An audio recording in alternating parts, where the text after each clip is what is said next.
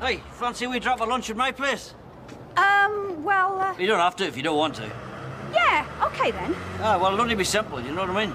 I'm a simple girl. Hey, you two back on track then? Oh, well, could be, you know.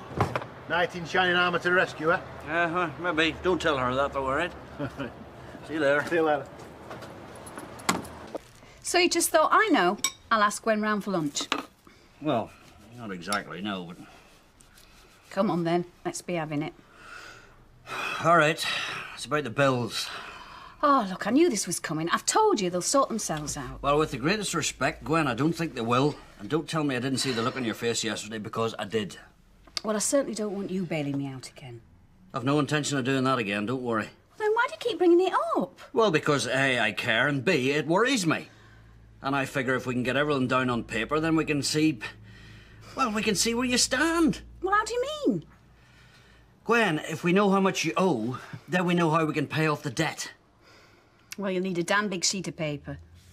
Well, that's sorted out. You're not going to let this drop, are you? No, I'm not. All right, if it'll shut you up. Go on then, tell me the worst.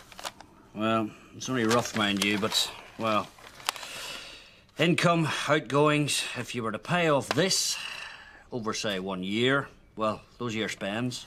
Well, they're roughly about the same, aren't they? Up here, aye, they are. Exactly the same, near enough. So I can do it. Oh, well, well, you can do it, aye, surely.